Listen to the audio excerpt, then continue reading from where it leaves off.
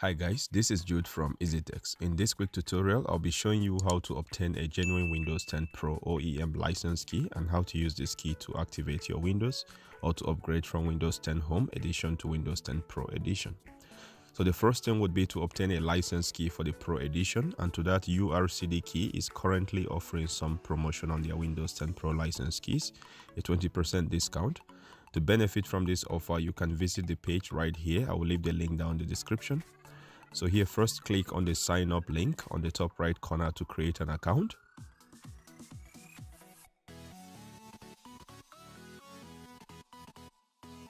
Afterwards, click on this buy now button. That should take you to this page here.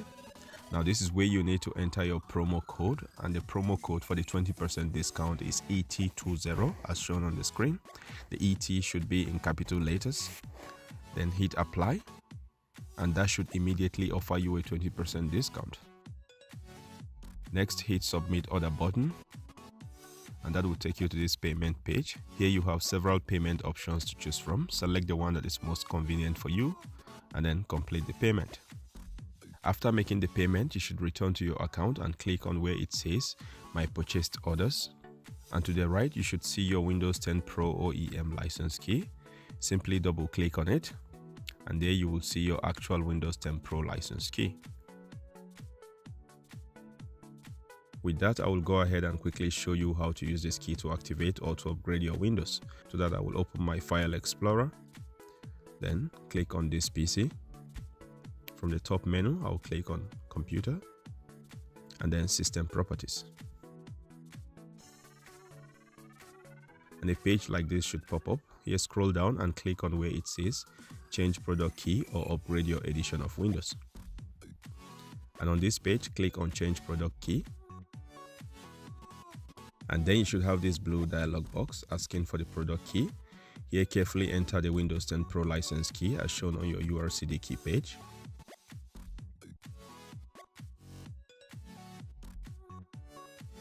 If you are getting any negative messages at this stage, then check to be sure you are entering the key correctly.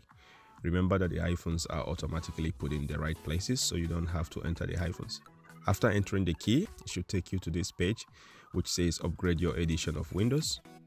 Here it reminds you that the process will be adding new features to your Windows so you will need to save your work and close your applications before starting the process. With that done, click on start to begin the upgrade process.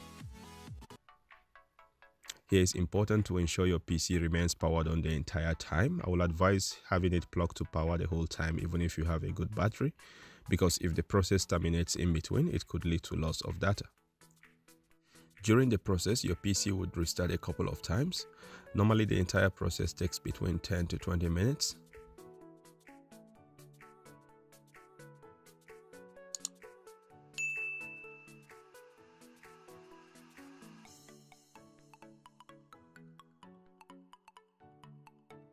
After the installation, you should now have all the features of Windows 10 Pro Edition.